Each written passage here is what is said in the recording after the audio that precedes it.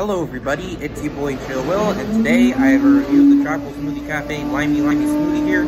This is what it looks like. It has orange juice, pineapple, lime, and strawberry. And this is what it looks like, and I really don't prefer the pineapple in it, but it does taste really good, regardless. Pineapple does kind of help the flavor though.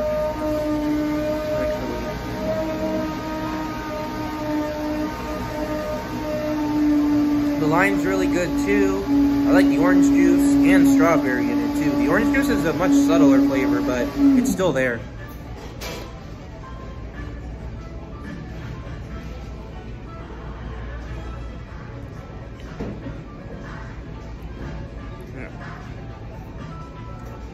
Overall, I'd have to give this smoothie like a 9.5 out of 10. That'll be my review, and eat hearty, my homies. Or drink hearty, my homies, in this case.